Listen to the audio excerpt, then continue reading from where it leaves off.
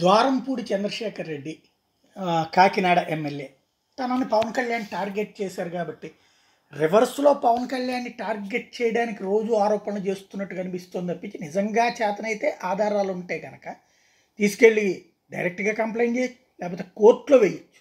ఎవరా పేరు పదే పదే వందల కోట్లు తీసుకున్నావు వేల కోట్లు తీసుకున్నావు ఇతర దేశాలకు పంపించావు ఏ ఏ దేశాలకు పంపించావు తెలుసు మొన్న మాట్లాడారు. పోనీ ఏదో ఆ రోజున మాట్లాడండి ఒక అర్థం ఉంది. మళ్ళీ ప్రెస్ కాన్ఫరెన్స్లు పెట్టి మాట్లాడండి. అంటే మేము అవినీతి ఆరోపణలు ఎదుర్కొంటున్నాం కాబట్టి దేశంలో అందరూ అవినీతి పరులే.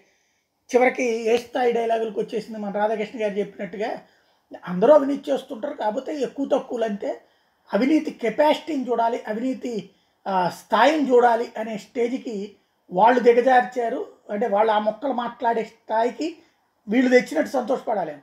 నేను చివరికి పవన్ కళ్యాణ్ కూడా ఆ కెపాసిటీని బట్టి చూడాలి అవినీతికి సంబంధించి అన్నిటిని ఒక్క దాటిన కట్టకూడదు అనేటువంటి స్టేజ్.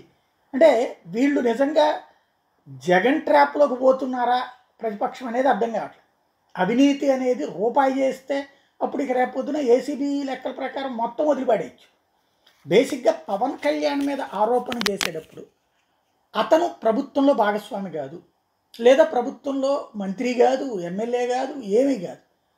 అతనికి ప్రభుత్వం నుంచి డబ్బులు ఎందుకు వస్తాయి? తెలుగుదేశం పార్టీ వాళ్ళు ఇస్తే తెలుగుదేశం వాళ్ళు చెప్పాలి. వైసీపీ వాళ్ళు ఎట్లా చెప్తారు?